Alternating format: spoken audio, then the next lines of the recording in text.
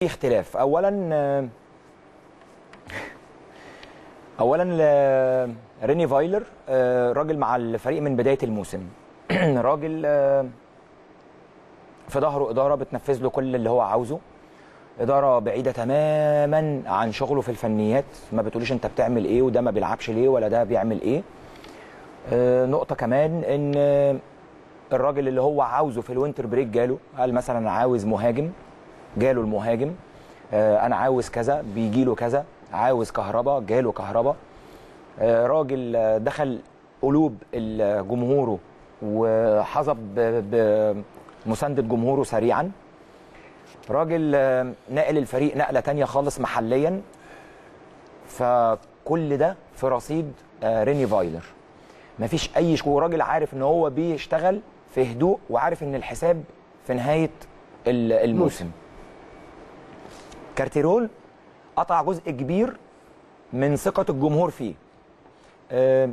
في الأول أي واحد اولا آه، عشان قلت لي آه، الاختلافات. اولا كارتيرون ما بدأش الموسم مع نادي الزمالك. آه، ثانيا برضو مش هو اللي مختار اللاعبين. ومش هو اللي عامل فترة الإعداد ولا المباريات الودية. مش هو اللي مختار الصفقات.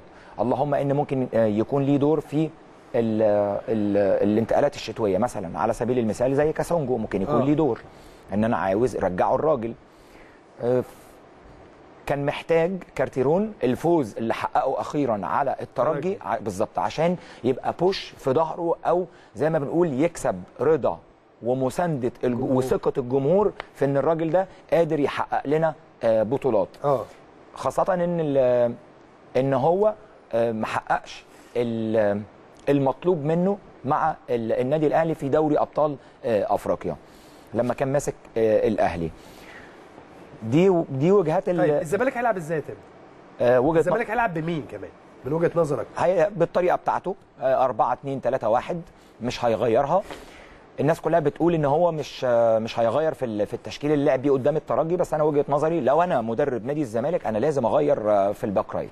يعني لو هو سليم مليون في المية عشان إحنا سامعين برضو إن هو ممكن يكون في شكوك مش حازم سليم إمام 100%. يعني؟ لا آه عبد الغني يعني أنا من وجهه الغني، آه آه. يعني أنا من وجهة نظري لو أنا مكان كارتيرون ألعب بأبو جبل وعبد الغني back right محمود علاء الونش آه عبد. الله لا عبد الله جمعة لو. أنا مدرب الزمالك أنا ماليش دعوة آه أنا بك... لأن من وجهة نظري الشخصية طبعا مع احترامي كبير لعبد الشافي إن هو لعيب كبير جدا ولعيب في منتخب مصر وبطل أمم أفريقيا 2010 ولعيب خبرة ولعيب عنده ميزة إنه في المباريات الثقيله بيبان.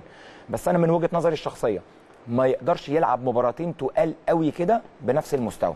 هو قدم مباراة الترجي على أعلى مستوى. آه. والمعدل البدني بتاعه بدأ يتعب. آه. ده سن يا إسلام. يعني خلينا مش هم أي حد عاوز ياخد الأمور بحساسيات وع- والدليل على كده استشهد لك بكلامي وأثبت لك كلامي. هو جه في الآخر عمل إيه؟ نزل مين؟ أول محطة دفاعية قدام عبد الشافي اللي كان ليه دور في الجول الثالث عبد الله جمعة. لعبه ك winger في الطرف الشمال. لأن عبد الله ديناميكي ويقدر يروح ويرجع ولسه سنه صغير وسريع جدا. تمام. كما إن محطة. عبد الله جمعة هيلعب back left. ما أنا قلت لك آه عبد الغني محمود علاء الونش عبد الله جمعة. عبد الله جمعة. الاثنين طبعا زي الأهلي ما فيش اثنين بيختلفوا عليهم. طارق حامد وفرجاني. مظبوط. الثلاثه الأطراف اثنين مغاربة ونجم وبن شرقي. بن شرقي. أوباما مصطفى محمد. ده لو أنا مدرب الزمالك. محمد. آه وزيزو هيبقى ما, بي... ما بيبداش هيبدأ اوناجم مظبوط. آه وتخلي معاك زيزو بره ال- بالظبط كورقة حلول. آه ممكن حازم برضو كورقة في ال- في الحلول. لو حازم إمام. آه طبعا. آه. ممكن. طيب لأن حازم سريع. هيلعبوا إزاي؟ سريعا بقى. الأهلي آه، هيلعب آه، إزاي بسرعة؟ سريعا.